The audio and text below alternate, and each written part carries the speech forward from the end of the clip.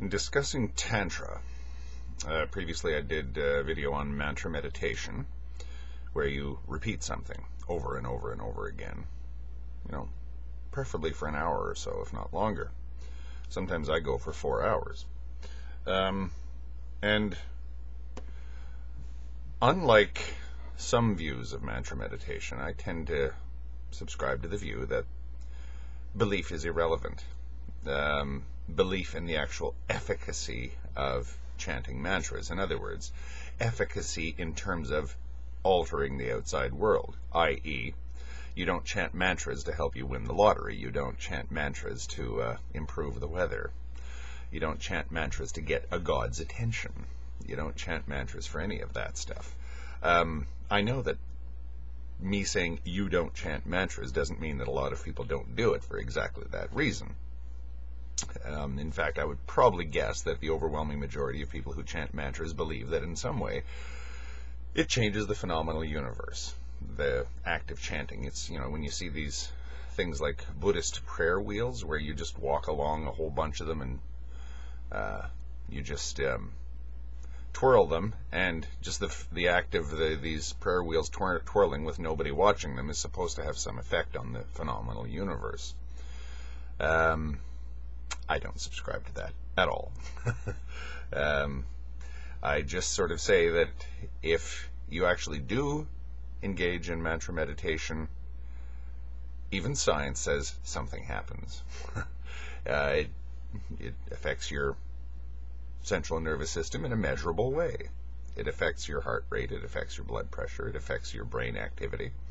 And hard science, as I like to call it, uh, agrees. So what I'm approaching Tantra from is the position that, in my opinion, Tantra is the deliberate manipulation of experience in the hopes or with the intention of, um, I guess you would call it self improvement. um, you want to engage in certain types of experiences that will affect you in a positive way. Um, and your experiences, as I say, are as real as anything gets. That's karma. I know I exist. I know I have experiences. Um, now, that's mantra meditation. There's other things that go along with this. Um, mantra, yantra, incense, flowers, and murti. this actually is not Indian at all.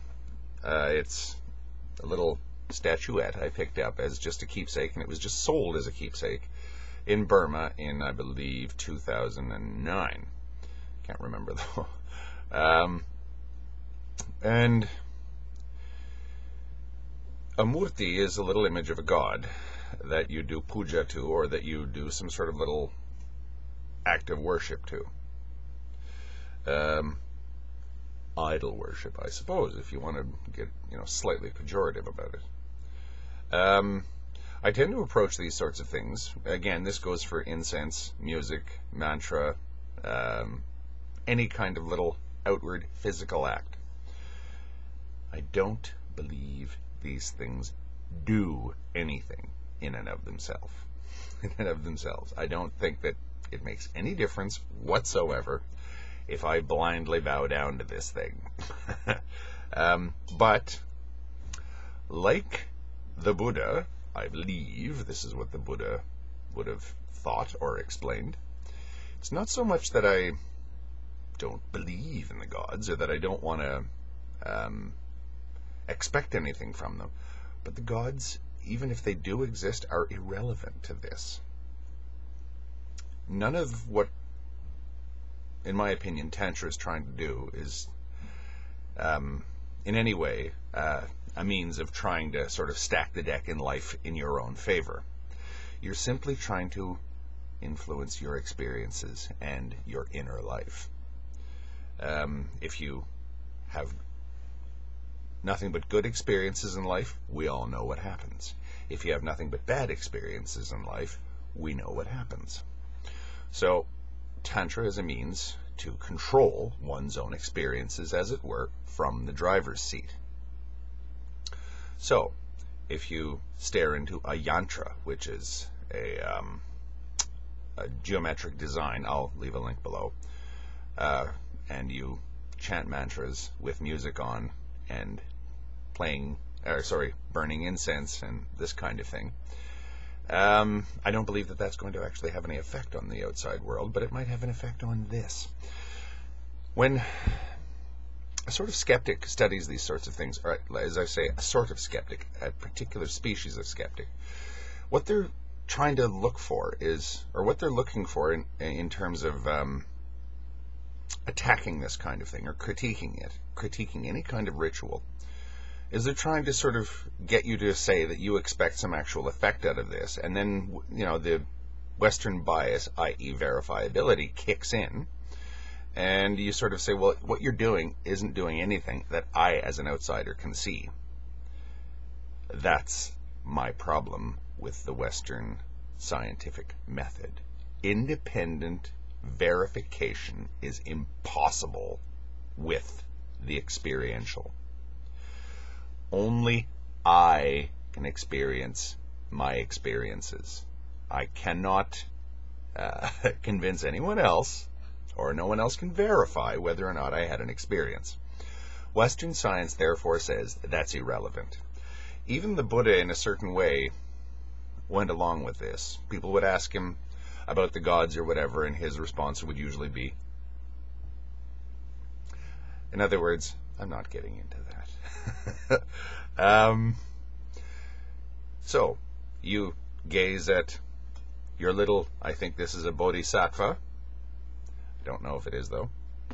You gaze at that, you chant mantras, your mind relaxes, you get into a nice place in your mind. You do that enough over the course of your life, and you might actually improve your mental health or your physical health, or you might improve um, your general state of well sense of well-being, that kind of thing. Um, you might be able to say that okay, it's all in your head, but that's the point. you know, when you have when you have a sort of uh, benefit that's all in your head, it's still a benefit. the fact that it's not independently verifiable is irrelevant at this stage, at this level. Only you know whether or not it's effective. And it's all very well for somebody to ridicule you. Let's say that, you know, for whatever reason, I was to go outside into a public place, put this down on the pavement, uh, get down on my knees, and start praying to it. Okay. I think a few of the passers-by might have something to sort of say about that.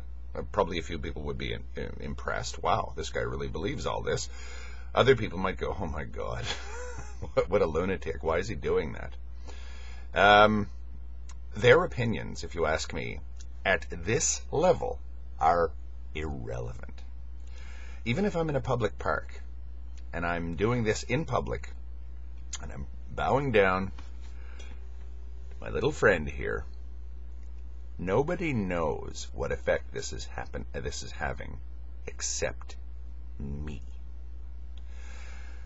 Western science is useless when it comes to the experiential, simply because Western science relies on verifiability. Experience is not verifiable. I know I'm belaboring this point, but it's so important to bear this in mind.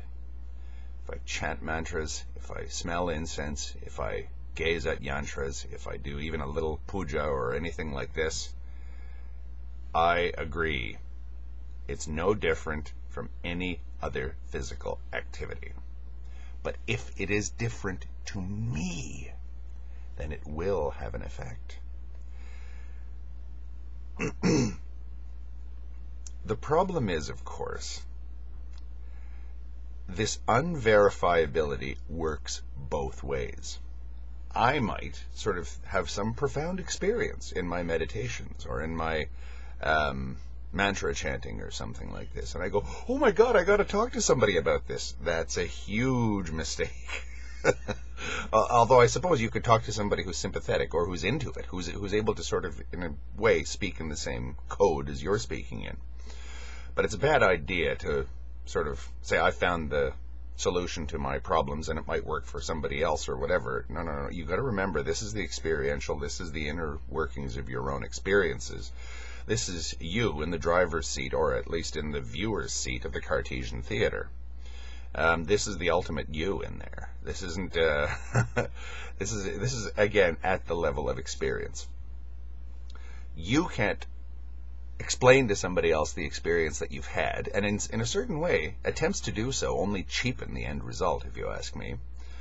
By the same token, nobody else can criticize you for doing what you're doing because they don't know the effect that it's having on your experiences. Um, seen in this light, I think Tantra makes a great deal more sense, and these weird diagrams and bizarre esoteric theories start to make a little bit more sense. Or at least you find out how little sense you've been attempting to make of these things by simply writing them off. Um, again, I put that down, I think, to the scientific bias uh, as well as the um, traditional bias that the skeptical West has had against anything that looks like mysticism.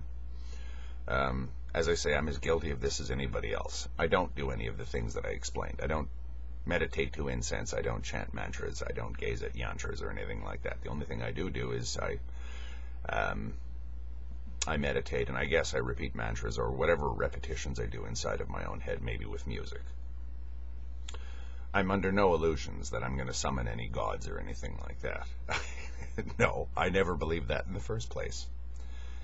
But Tantra will help you manipulate your experiences. It will help you control your experiences rather than being on the receiving end of them.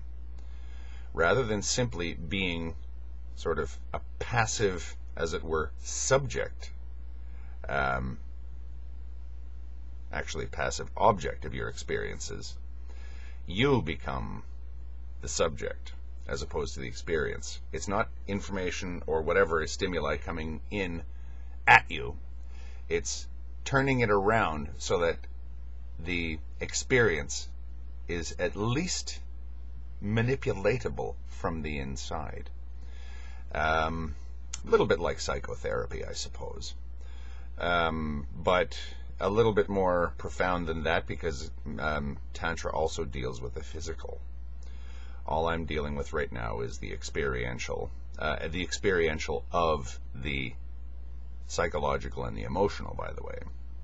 The experiential of the physical is absolutely fantastically interesting, if you ask me. That's going to be a next video.